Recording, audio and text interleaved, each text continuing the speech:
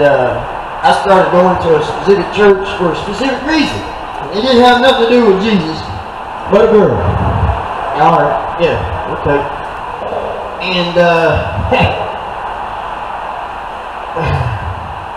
I remember in Sunday school class, man, where they talked about Jesus, you know, and he was he was just a real nice guy, you know, yeah, real soft, you know what I mean, real merciful, forgiving and stuff, you know, and this is the picture of Jesus that we had throughout our lives, especially those of us who went to Sunday school, but even those of us who haven't gone to Sunday school, because this is what we hear from other people We talk about him. Yeah, all right. And while all those things are true, brothers, it's not all that's true. Yeah, all right. There's some other things that we need to learn about Jesus Christ today first. Yeah, yeah. Let's look at some scripture. This is, uh, there's no physical description of Jesus Christ at all. There's no pictures, there's no paintings, man. Well, there's lots of paintings, but not of him. Yeah, all right. Okay. Lots of pictures, but not of him. Yeah. But we do have a physical description that was prophesied by Isaiah before Christ came. Yeah, let's hear that. Isaiah 53, verses 2 through 3. For he shall grow up before him as a tender plant and as a root out of dry ground. He has no form nor comeliness, and when we shall see him, there is no beauty that we should desire him.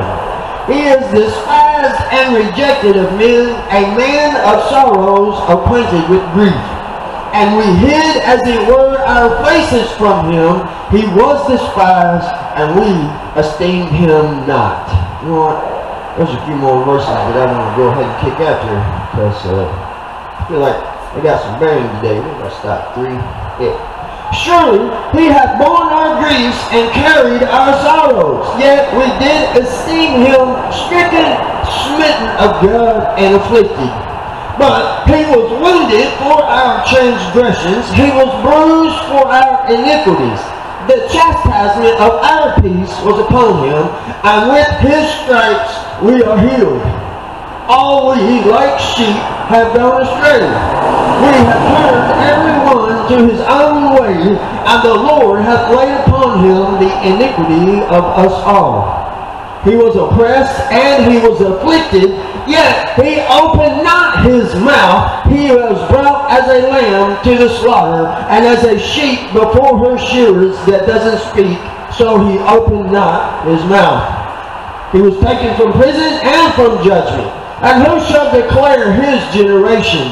For he was cut off out of the land of the living. For the transgression of my people was he stricken. And he made his grave with the wicked, and with the rich in his death, because he had done no violence, neither was there any deceit in his mouth. Yet it pleased the Lord to bruise him. He hath put him to grief. When thou shalt make his soul an offering for sin, he shall see his seed. He shall prolong his days, and the pleasure of the Lord shall prosper in his hand. He shall see the travail of his soul and be satisfied. By his knowledge shall my righteous servant justify me, for he shall bear their iniquities. Therefore will I divide him a portion with the great, and he shall divide the spoil with the strong, because he hath poured out his soul unto death, and he was numbered with the transgressors, and he bare the sin of me, and made intercession for the transgressors. Yeah. I want to go ahead on and read the rest of that, brothers, just so we have a little more understanding about Christ, you know, uh, and what it was exactly that he did for us in this world, you know, throughout his lifetime, what his life represented for us, you know, okay. Well, let's get back to this physical description, man. He was not a beautiful man, yeah, it wasn't somebody that was shaped and broad shouldered, square jawed, and big and muscular. No, not at all. He had no form whatsoever, not comely in the slightest. Yeah, okay. When we shall see him, no one shall desire him. So then, it wasn't someone that the women were chasing, brothers. You understand what I'm saying? Yeah. It was just a common, ordinary, average-looking guy. You know, was not King Saul, tall and beautiful. Yeah, okay. It wasn't like David, strong and mighty. No. He was just a guy like you and me. Like every one of us folks. You okay? and yet we esteemed him not. Yeah. Meaning that we didn't put no kind of uh, uh, uh, pride in him, man. We didn't lift him up to be any kind of celebrity or any other such thing, man. No one had any esteem for Christ. Yeah. And we hid, as it were, our faces from him. He was despised. Don't you think about that? We hid our faces from him. You know, uh, it took me a while to, to understand that because, you know, I think of Jesus, man. Everybody's going to Jesus. Everybody's seeking Jesus. Thousands of people were coming from all over the land to see Jesus Christ, man. Right. And yet it says, and we hid, as it were, our faces from him. You know, as many people who came to Christ because obviously they believed something about him. Yeah, all right. A lot of them came to be healed. Yeah. And he did heal them. But, most, those of you that been here heard me say this, the leper that came to Christ, believing that he could heal him, asked him to do so. Yeah. And he did. Yeah. And then he told him to go to the priest and make the offering for his leprosy and told him not to tell anyone at all but to go and do this. And the man took off running, telling everybody. Yeah, telling everybody. Didn't go to the priest, didn't make the offering, and wasn't inspected by the priest to be declared clean.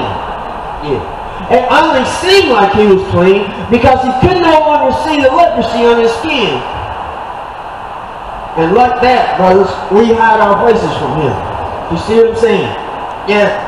Lots of people come to Jesus Christ, man, call on his name, go to church, get baptized, yeah. And that's what it is. ends. Ends. Alright. And hide his, your face from him the rest of your days. Yeah. See it every day, man. Yeah, alright. I'm not just saying. I was gonna say I'm not hating, but I guess I kinda am. You know? Yeah. Kinda am. It's kinda sad for real. Because to be quite honest with y'all, one of the hardest things it was for me to do was to believe. Simply that. Just to believe. Or at least confess my belief. Yeah, alright. Because once I confessed my belief, it didn't matter no more. Yeah. It didn't matter no more. Yeah. Some people gonna point their finger at you. Oh, you ain't a Christian. You did this and you did that. Yes, I did. Most certainly. Yes. Or that are fear, they're afraid to confess because of what they might do in the future. Yeah.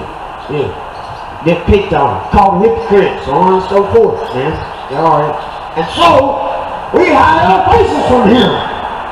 All right. Well, it is a long, hard road to perfection. It is. And the one thing that we cannot be is afraid. We cannot be afraid of anything anyone will say or do or not do when it comes to our relationship with Jesus Christ. Think about this, man. Think about this. You know, one of the things I believe, man, I even called on Jesus, man. Come to come to my heart, Jesus, save me, save me. I didn't confess it to no one. Not a single soul, man. Alright. Who do you think that got me? Think that save me? No, brothers. Not at all. Yeah. I had no spiritual experience. Yes. No spiritual experience. Brothers, you will have a spiritual experience in the moment that you overcome yourself for Christ, especially. Yeah. That's when you're going to have it. That's when you're going to feel it. Yeah. Wouldn't it, I mean, just saying, wouldn't it? For yourself, brothers. All right. And if you hide our faces from him, we're certainly not going to have an awakening, brothers. Certainly not at all. Yeah. And so we get this picture of Jesus, man, you know, he's not a real pretty guy, not beautiful, not big, he's not strong, he's not muscular, man, he's not someone that we looked up to, he wasn't a celebrity, he wasn't nothing. Yeah, all right.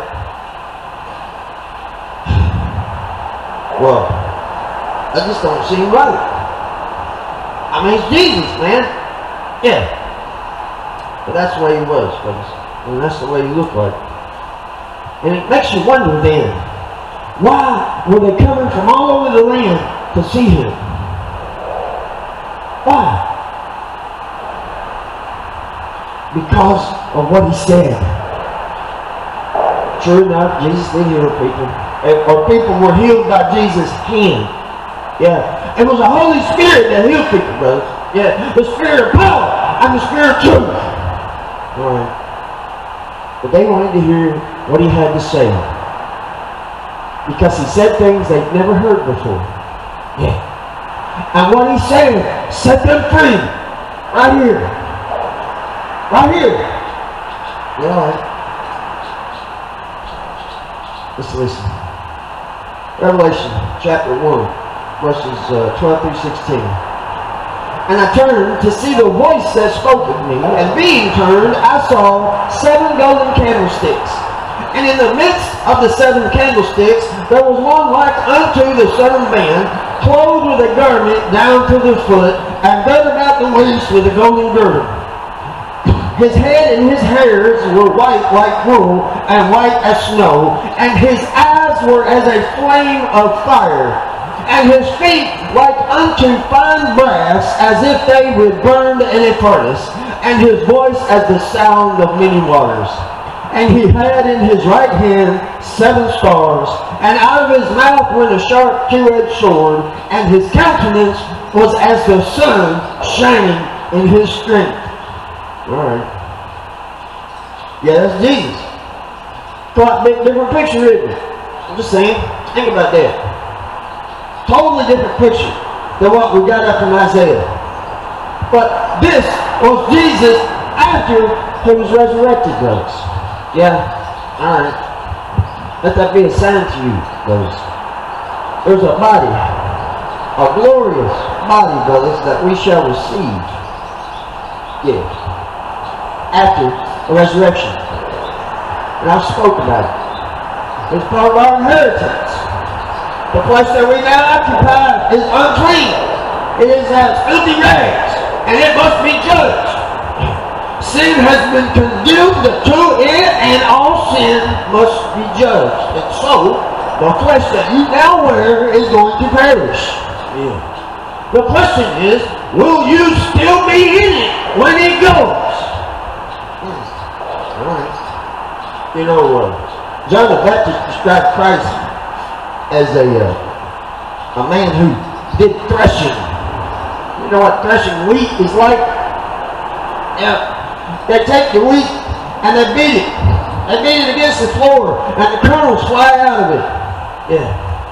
And then they take a fan and they blow it like this. And it blows away the chaff, the outer hull of that wheat kernel. Yeah the part that's no good. Sticks in your teeth, there's no nutrition in it. Yeah, alright.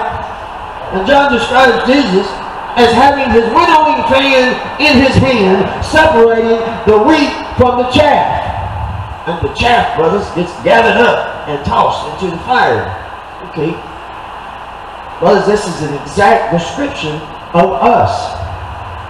What you are that is like God is inside of that flesh. Yeah. The question is, is it good fruit for the kingdom? Has it matured and developed to be good fruit for the kingdom? Because even if it has, there is still something about us that is undesirable, brothers. Yeah. Undesirable, and that is our flesh. Brothers, that's the price of grace. Yeah, yeah, all right. Jesus Christ died on the cross for our sins, more the iniquity of us all. Yeah. And because of this, sin has been condemned to the flesh. All right. Yeah, go flesh can be not be cleansed. It's got to go. But there is a new body. And it is called the glorious body, brothers. Yeah. And it is part by inheritance. It is. And this body that we see Christ's description of is his glorious body, brothers. Yeah. And we too shall have a body like that. Alright. Just saying. still a little further picture. Revelation chapter 14, verses 14 through 20. And I looked, and behold, a white cloud, and upon the cloud sat one like unto the Son of Man, having on his head a golden crown, and in his hand a sharp sickle.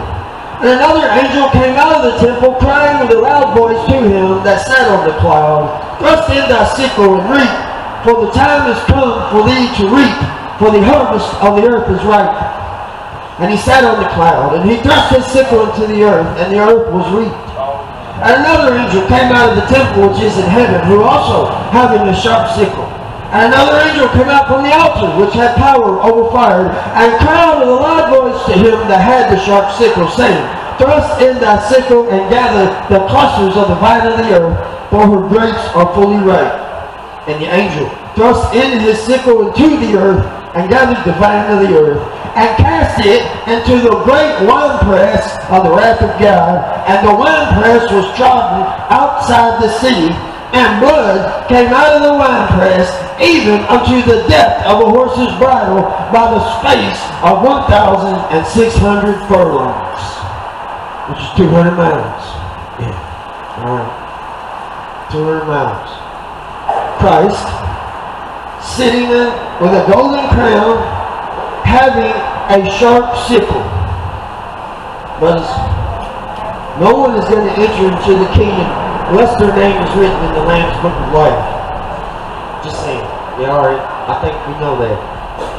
And so that this is a picture of the rapture. Yeah. This is a picture of the rapture of the dead.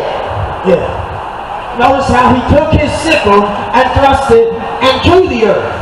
Yeah. Not on top of the earth like you would if you were cutting down corn or wheat or barley. No. But into the earth. Yeah.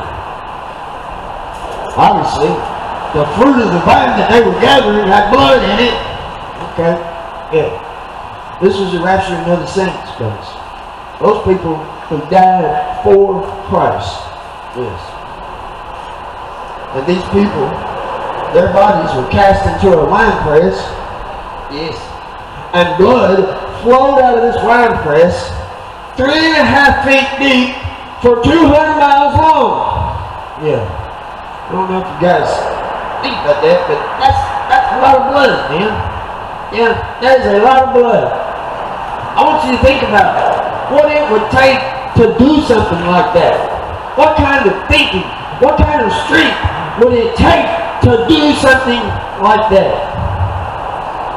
Because this blood, brothers, this blood that's being gathered from the saints is going to be used in the judgment of the wrath of God.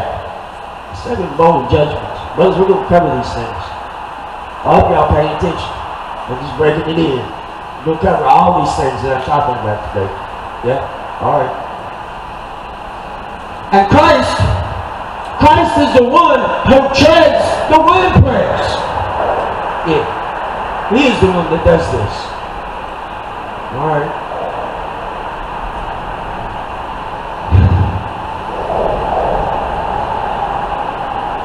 People, when you live for Jesus Christ, it's because you're ready to die for Jesus Christ. Does that make any sense? when you are ready to die for Christ, that is when you can live for Christ. Yeah. You're not able to live for Christ, brothers, if you're not ready to die for Him.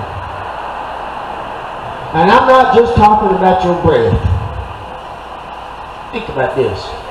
Jesus said, Greater love hath no man than he that would lay down his life for another. Yeah. All right. When we think of this, we think of Jesus dying on the cross and how he died for us. Okay. And that's not the only way to lay down a life, brothers. If I'm not mistaken, that's exactly what some of you at the very least are trying to do right now, aren't you? Aren't you trying to lay down this life that you've been living and try to pick up another one? Something that you consider to be better? Yeah. All right. So then, Christ bringing these people, the child in the wine press, brothers, for those people who laid down their lives for Christ and lived for, for Christ. Lived for Christ, brothers. For a long time, I thought that, you know, uh, this thing that we're doing right now, standing here now, this thing that we're doing, that only some people, you know, are supposed to do stuff like this. That, like the preacher man, you know, the pastor or whatever, it was, it was his job to do stuff like this. And yeah. Not my job, but his job. Brothers, it's all of us job. Every single one of us. Every single one of us are called to be a disciple of Jesus Christ. A disciple of Christ. Which is to do what he did. For the reasons that he did it. Follow the leader, man. Alright. And brothers, this is what Christ did. Then he sat down with 5,000 men and feed them. And then he preached to them afterwards. All right. All right. Live for Christ means change your thinking. I don't want to do what God says not to do. And I want to do what Christ says. Because this is how we live for Jesus Christ. Yeah. Moses' blood. Christ talks about it in Matthew 23 to the Pharisees. He talks about the blood of the prophets, the blood of righteous Abel, so on down the line, all this blood that was spilled. Yeah, is going to be poured out against those people. It's going to be poured out against us, brothers. Yeah, against us. Question is, will you live for Christ?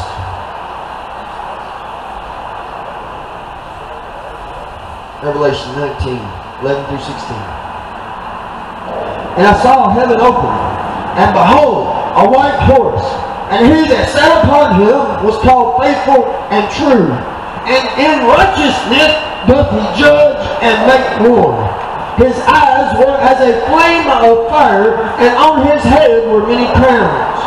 And he had a name written that no man knew but he himself. And he was clothed with a vesture dipped in blood, and his name is called the Word of God.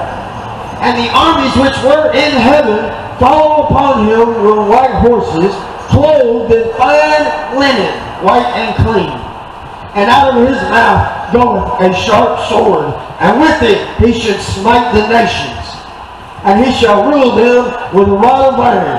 And he treadeth the winepress of the fierceness and wrath of Almighty God. And he hath on his vesture a name written, King of Kings and Lord of Lords. Yeah. As like flames of fire, a sharp sword being from his mouth, wearing a robe dipped in blood. You picture that. Coming in the clouds, man. This person. Eyes like fire. Yeah. Face glowing like the sun. Wonder how we're feeling that day. I wonder how many will be afraid and run Revelation tells us that they will run to the caves and in the dens and pray that the rocks will fall upon them and hide them from him who sits on the throne.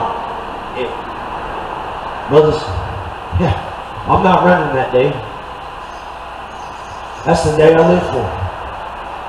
That's the day that I live for every single day. Yeah. It's the reason for my existence. It gives me purpose to see Christ on that day. I used to be afraid. Yeah. Yeah, I used to be. You know, uh, going to, the few times that I went to church, and then of course, you know, when I got incarcerated, I got put in jail. You know, we go to church on Sundays, but uh, most of the time we just did a lot of talking. You know. And I remember preacher man saying, all I had to do to be saved was believe. Just believe. Believe on the name of the Lord and you shall be saved. Yeah, all right. And I thought, well, man, that's easy. I believe Jesus is real. I believe he's the Son of God. I believe God carried everything. Yeah, all right. And yet, I didn't feel too saved. Just saying. I didn't feel too saved. And I was afraid. Still. Those, it wasn't until I not only believed in Christ, but I began to believe Christ. Does that make sense? Because when I believed Him, I began to live for Him. I began to obey Him. And as we learned three weeks ago, fear has to do with punishment. The reason we are afraid is because we know we should receive punishment. Yeah. But brothers, when you are not disobedient, what fear have you of being punished? No. Brothers, I, it said a sharp sword goes from his mouth, and with it he shall smite the nations. Was another one that puzzled me for a long time. The first time I read that. Yeah, right. But then it began to become clear. Jesus is going to defeat the nations when he returns. Yeah. Guess how he's going to do that? He's going to do that the same way God made everything. With his words. The truth. Christ shall speak the truth, friends. Who knew the Word of God was so powerful? With it, the world was framed. With it, the dry land came forth. With it, the waters were divided. With it, the sun and the moon and the stars were made. With it, all things that live, live because of it. Simply that. Just that. That was all God did was speak. Let there be light. And there was light. Yeah. Because this is the same way Christ is going to defeat these people on this day, these nations. Yeah. This will be the day that the Antichrist and the false prophet have gathered for battle in the Jezreel Valley. That's called Har Megiddo.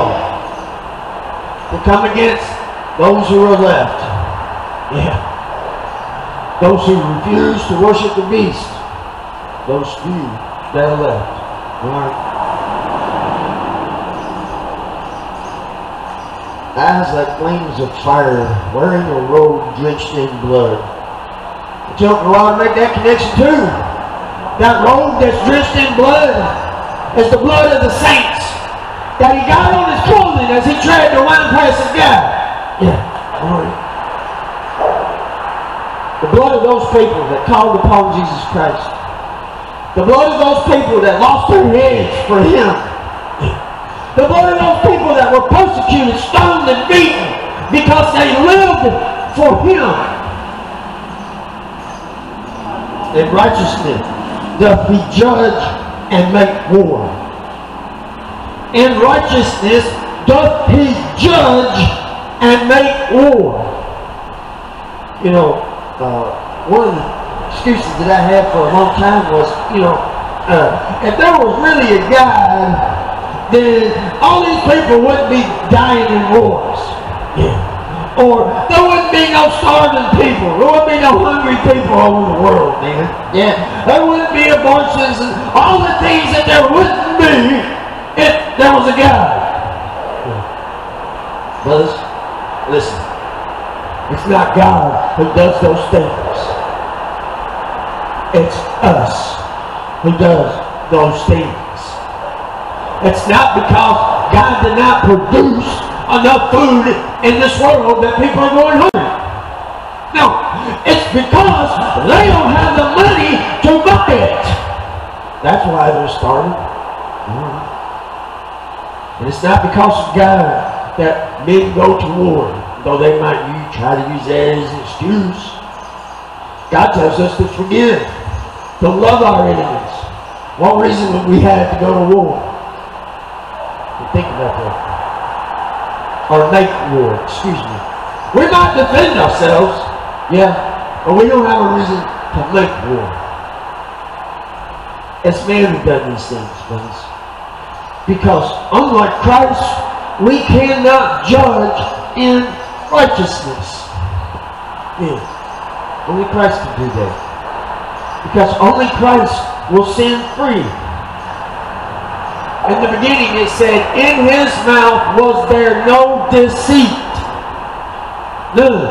Never. He never tried to get over on anybody. He didn't try to manipulate people. He didn't try to use people. Yeah, like we used to.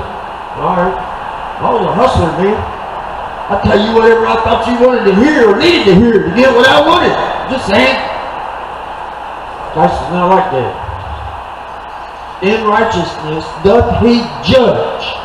Uh-oh. You know, I know a lot of people who uh, they don't really see Christ as a judge. You know? I see Christ as the lamb for the sacrifice for their sin, but they don't see him as a judge. Because if they saw him as a judge, they might be a little more afraid to do what he says. Think about it. I mean, y'all been to court. Come on. What happens when you don't do what the judge says? I just say, man. Yeah. What do you think's going to happen when you're standing before Christ? An imposing figure, brothers, wearing a robe drenched in blood with eyes like flames of fire. All right. All right, guys. You don't want to meet Christ on this day, brothers. You don't want to meet Christ on this day. You want to meet Christ when he comes in the clouds. That's when you want to meet Christ. Because if he's wearing that robe drenched in blood, brothers, you're going to have some problems. Yeah.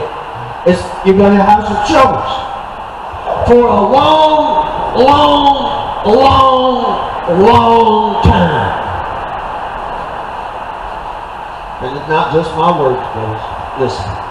Revelation chapter 22, verse 12 through 17. And behold, I come quickly, and my reward is with me to give every man according as his work shall be. Oh, but wait a minute, preacher man. We're not saved by works. No flesh is saved by works, lest any should boast. Oh, that's right. Not by your works anyway. But what about Christ's works? What about those things that Christ says to do? Yeah. What about those things, brothers? You gonna go up front of Christ oh Christ, you know, I didn't preach the gospel. I, I didn't share this gift of grace because you said no man shall be saved by works lest any man should boast. Yeah. Christ is gonna say, Why didn't you do what I said? How can you say you love me and not do what I said? Think about that. Alright, brothers. Yeah.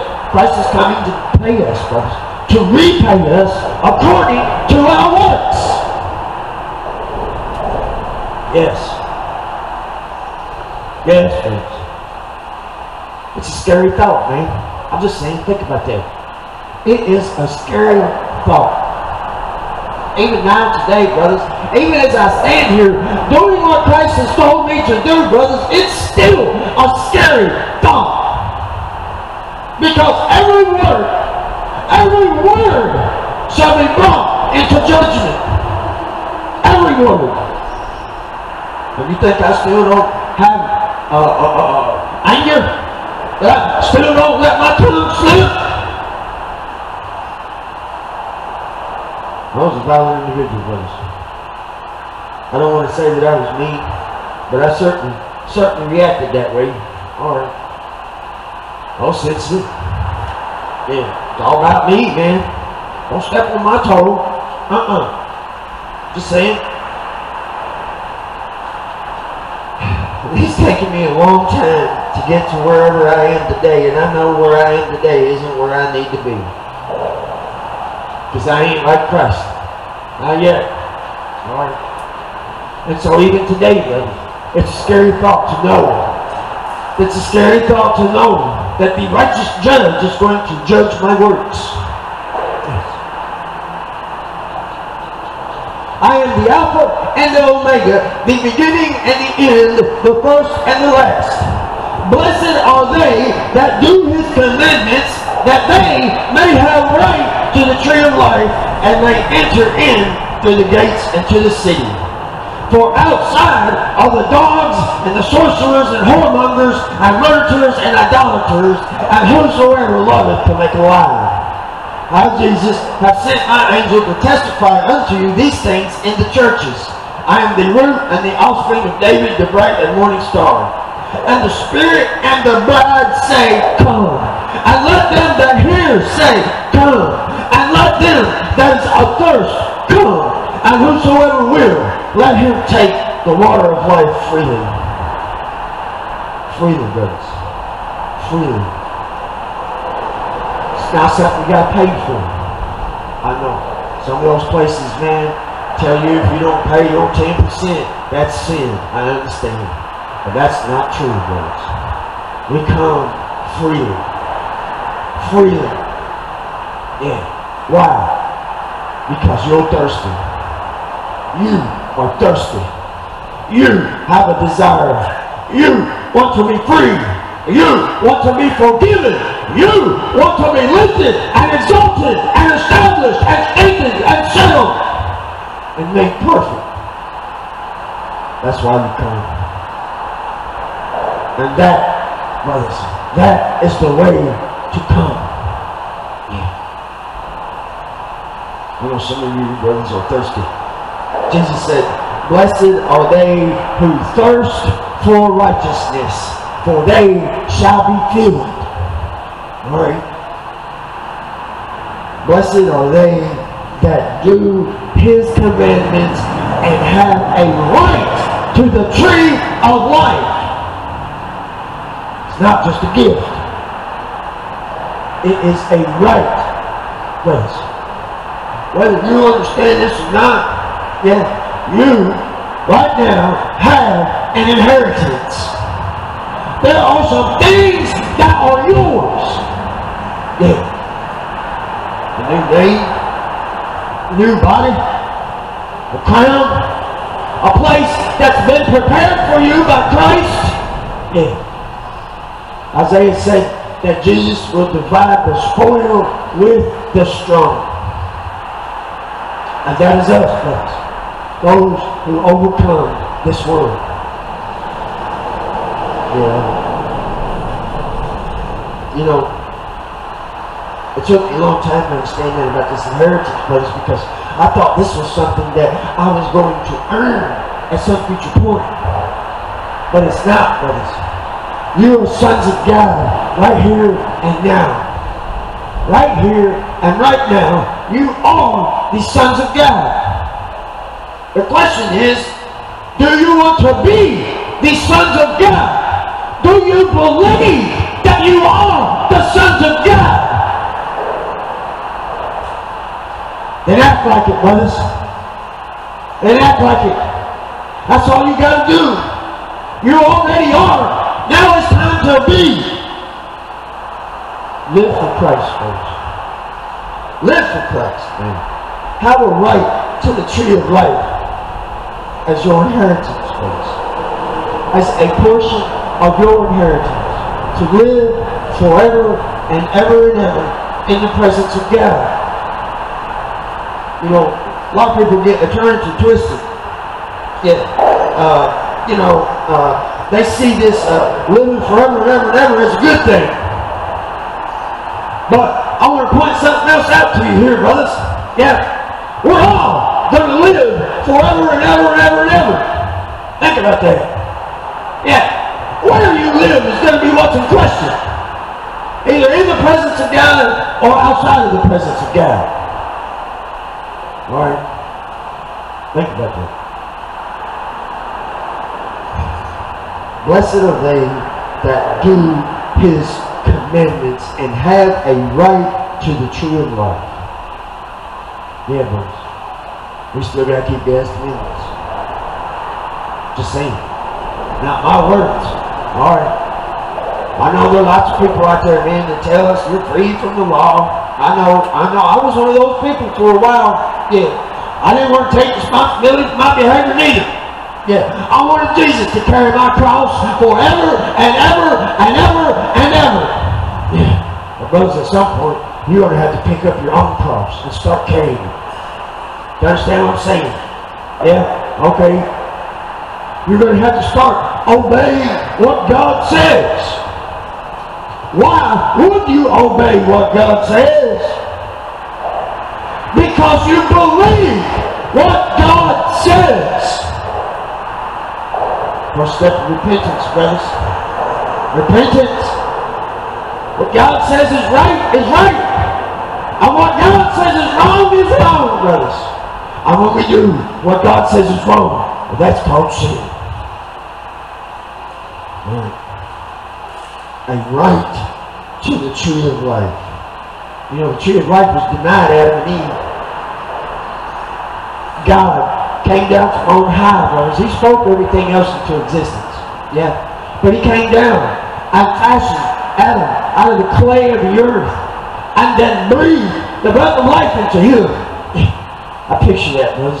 God over top of him, bending down, pinching his nose, opening his chin, and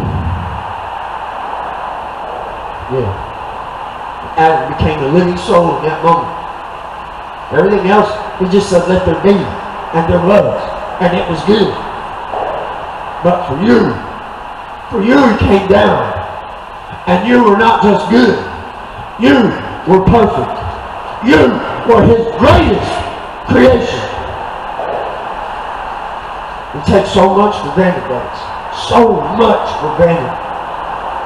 About who we are and what we are and what God really wants from us. Brothers, I want to live in heaven. That's where I want to live. I want to stroll the streets of gold, man. Yeah, alright. I want to see God's holy face. Brothers, for those of you, man, who have that desire too, it's time to start walking in this world as if this world was the streets of gold. Because being a citizen of the kingdom of heaven is not something that we become in the future. It's something that we are here and now. Remember that. Don't never forget that, brothers. I bet some of you have heard, well, if you wouldn't do it in church, don't do it anywhere else. You ever heard that? You all right? Brothers, church is not a place you go. Church is who you are. The bride of Jesus Christ. Yeah. So then, everywhere you go, everywhere you go, everything you do, as a citizen, obeying God and living for Jesus Christ. Because, again, brothers, you don't want to meet Jesus on that day. Not that day, brothers. Trust me. That's not the day you want to see Jesus Christ. Not the day. Because if that's the day that we see Jesus Christ, then we're going to be outside of the holy city. Like, along with the other dogs, and sorcerers, and whoremongers, and idolaters, and liars, and thieves. Yeah, alright? That's not where I want to be. I want to be inside the presence of God, not outside. The light does. We want to be in the light. Today is the day of salvation, friends. Not tomorrow. Not not not some other day. Not when this happens for you, not when you get married, not, not, not when you get out of the program, not, not when you get your kids back, not when you talk to your mom, or so, uh, not then, brother, but now. Now is the time of salvation. None of you are promised tomorrow. None of us are promised tomorrow, brothers. No. Jesus said, believe and be baptized to be saved. I've given you a lot of word today to believe, brothers. Read it all. Right out of the Bible, brothers. I know I put the book opened up. But any of you that want, yeah, these scriptures are copy and pasted. It's too hard to stay down here with the book open and the wind flipping my pages up crazy. I tried that for a while. It just didn't work. Okay. It is God's word. It is God's word. Yeah, or it's not my words. It's His words. A lot to believe. Today I think back, I was like, what took you so long? Why? Why? All that time you wasted. All the people that fell around you that you might have been able to help. Dropping like flies around us all the time, ain't they, brothers? Ain't they? Ain't they, though? I wonder if some strong person who had turned to Jesus Christ that they knew told them there was a better way if they'd still be here. I feel pretty good about it, though. I feel pretty good about that thought. There's people that's dropped that you might not be able to help, brothers. But there are people out there that you can. There are people out there right now who have been waiting on you your whole life your whole life, God, to help them, to share this gospel with them, to increase the gift of grace in them by letting them know that they might receive it freely if they just believe Jesus Christ. Believe Jesus Christ. Believe and be baptized to be saved. Believe not, and you will be damned. Think about that. I used to hear those people say, "Oh, you don't really need to be baptized, man. You know, the thief on the cross wasn't baptized, and he got saved, right?" Nobody knows if that man was baptized or not. And it don't matter. Because none of us are here. All of us are sitting here and now with the opportunity and time to do that. We're not nailed up to a piece of wood, unable to even fold our hands to pray I'm just saying. Yeah, that's not us. Furthermore, the command to believe and be baptized came after Christ was resurrected. Not before. Okay. Not my word, brothers. There's a reason. Earlier I said, you know, I was afraid to let other people know that I believe Jesus Christ that I believed in Jesus Christ because of what they might say about me or what opportunity I might miss. Some lie that I might be able to tell in the future, but not because I told people I believe Jesus. Because I didn't want to be a hypocrite. I'm betting none of you want to be a hypocrite. Matter of fact, I'm betting none of you want to be in the wrong either. Yeah, all right. And yet, like sheep, we have all gone astray, brothers. Always. But turning to Christ is the only right way, friends. And I realized that. But I didn't want to be wrong no more. Just saying. Yeah. And I meant to be baptized. And there began, there began my true struggle, brothers, to be saved. Yeah. Alright. I know that a lot of you are sitting here today, addicts, been addicted, have been addicted, some other such thing, I understand. And that's what you're trying to change about yourself. I understand. Yeah. But brothers, salvation has to come first. That spiritual awakening has to come first before sobriety can be had. Just that, brothers. Some of you are not going to believe me. But years from now, years from now, you will. And brothers, I hope on that day, on that day, you call upon the name of the Lord to be saved. If you should not, today. Those of y'all want to go hit this water, I got shoes and I got towels. Let me get this stuff put up in the van. Take about 15, 20 minutes. Get your paper signed and stuff. Go ahead down there and get that in. Yeah? All right. Today's the day, boys. Today is the day of salvation. Not tomorrow. Today. Let's close. Lord, we give thanks for this righteous judge that you have set over us, Father. And though his countenance might be scary to us today, Father, give us the strength, Father. Give us the spirit, Lord, that we might be cleansed of sin, Father, so that on that day, Father, we can jump in joy and parade, Father that we would not have to worry about being judged, Father, for that we have judged ourselves here and now, Father. That we have found ourselves to be wrong, Lord, and turn to you, turn to what was right, Father. Lord, thank you for this experience. Thank you for this moment, this opportunity. Thank you for making all these things possible and all these things happen, Father. Lord, I pray that you would continue making these things happen, Lord. In Jesus' name we pray. Amen. Next week, guys, we're going to start looking at the signs of the past, scriptures and prophecy that's been fulfilled, that we might know that Christ is on his way.